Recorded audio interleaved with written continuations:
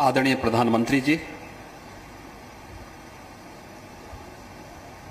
मंच पर उपस्थित प्रदेश के मान्य राज्यपाल महोदया, केंद्रीय मंत्रीगण, केंद्रीय नागर विमानन मंत्री मान्य श्री ज्योतिरादित्य सिंधिया जी, विधि एवं न्याय मंत्री मान्य श्री किरेन रिजिजू जी मंच पर उपस्थित केंद्रीय मंत्री मान्य Shri G Kishan Reddy ji, general doctor VK Singh ji, Shrimati Meenakshi Lekhi ji मान्य श्री अर्जुन राम मेघवाल जी मान्य सांसद श्री विजय दुबे जी, उत्तर प्रदेश सरकार में मेरे सहयोगी नागर विमानन विभाग के मंत्री श्री नंदगोपाल नंदी जी, मान्य विधायक श्री रजनीकांत मणि त्रिपाठी जी,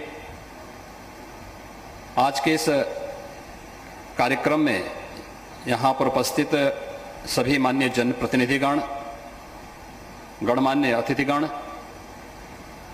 एयरलाइंस के सभी सीओज देश से और प्रदेश के विभिन्न क्षेत्रों से यहाँ पर उपस्थित सभी टूर ऑपरेटर्स और उपस्थित भाइयों बहनों, तथागत बुद्ध की इस पावन धरती पर दुनिया के सबसे लोकप्रिय नेता, भारत के यशस्वी प्रधानमंत्री आदरणीय नरेंद्र मोदी जी का मैं हृदय से स्वागत करता हूँ, अभिनंदन करता हूँ। आज भाइयों बहनों कई महीने में हम सब के लिए अत्यंत तो महत्वपूर्ण दिन है। आज शरद पूर्णिमा का पावन तिथि भी है। मर्यादा पुरुषोत्तम भगवान श्री राम की गाथा को जन जन तक पहुँचाने वाले लौकिक संस्कृत में सर्वश्रेष्ठ महाकाव्य के रचयिता आदि कवि महर्षि वाल्मीकि जी की भी जयंती है। और बौद्ध परंपरा के अनुसार अभिधम दिवस भी आज के अवसर पर है। और आज ये हम सबका सौभाग्य है कि पूर्वी उत्तर प्रदेश, जो आज़ादी के बाद से लगातार उपेक्षित था, उस पूर्वी उत्तर प्रदेश के विकास की एक नई उड़ान को मजबूती के साथ आगे बढ़ाने के लिए आदरणीय प्रधानमंत्री जी का आशीर्वाद और उनका सानिध्य पूर्वी उत्तर प्रदेश के पाँच करोड़ से अधिक नागरिकों को प्राप्त हो रहा है।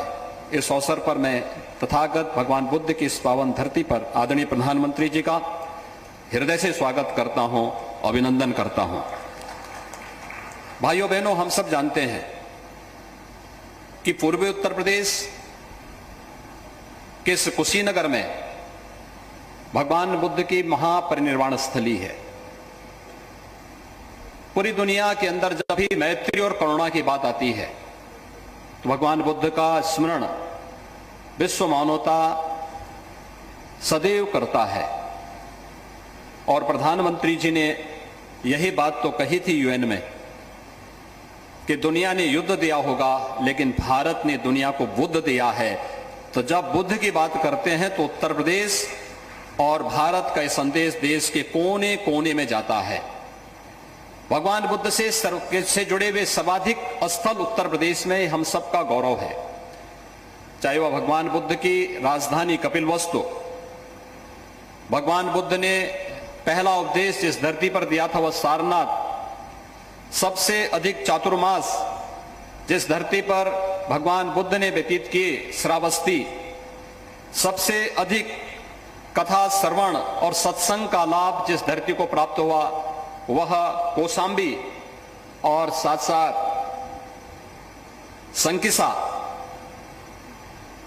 और महापरिनिर्वाण स्थली कुशीनगर भी उत्तर प्रदेश में है। यह हम सबका सौभाग्य है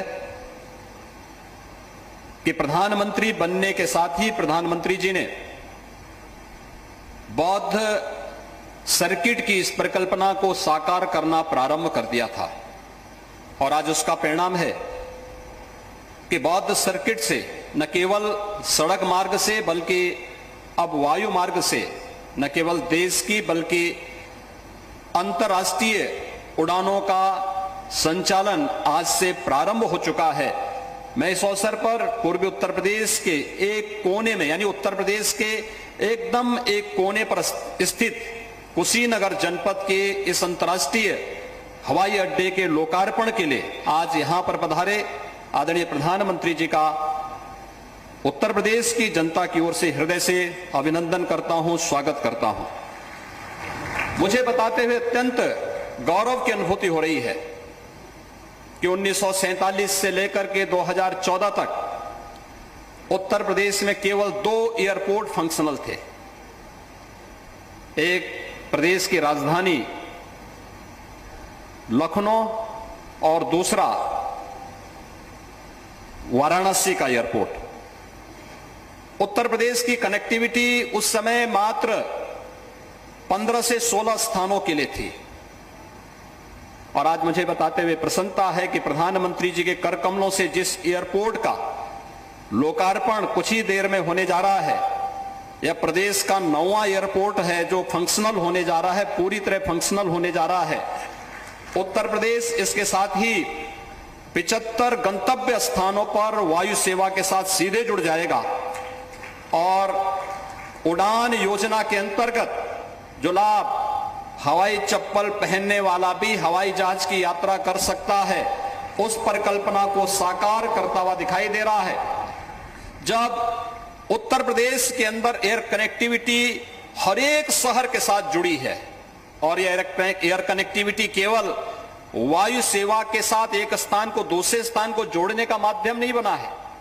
विकास की ढेर सारी योजनाओं को भी अपने साथ लेकर के आ रही है। विकास की एक नई उड़ान के साथ आ रही है। कुशीनगर, उत्तर प्रदेश का तीसरा अंतर्राष्ट्रीय हवाई अड्डा है।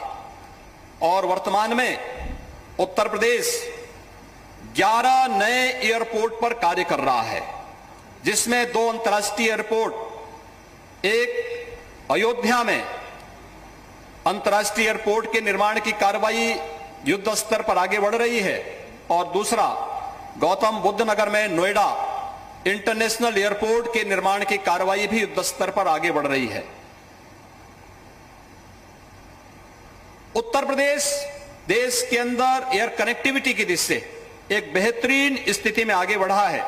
आदरणीय प्रधानमंत्री जी के मार्गदर्शन में यह न केवल हमें उत्तर प्रदेश के विकास को, बल्कि पर्यटन सुविधाओं को आगे बढ़ाने के लिए और उसके माध्यम से रोज़गार की संभावनाओं को विकसित करने का भी हमारे लिए एक सशक्त माध्यम बना है।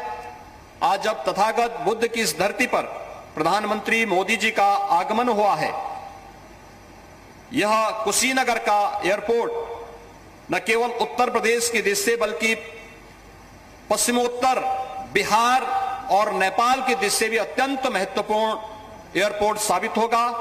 आज के इस अवसर पर मैं एक बार फिर से शरद पूर्णिमा के इस पावन अवसर पर, महर्षि वाल्मीकि के इस पावन जयंती के अवसर पर अभिधम दिवस के इस पावन पर्व पर, जब यह अंतर्राष्ट्रीय एयरपोर्ट राष्ट्र को समर्पित करने के लिए स्वयं आदरणीय प्रधानमंत्री जी यहाँ पर उपस्थित हुए हैं। मैं उत्तर प्रदेश के नागरिकों की ओर से उनका हृदय से आभार व्यक्त करते हुए हृदय से अभिनंदन और स्वागत करता हूँ। धन्यवाद। जय हिंद।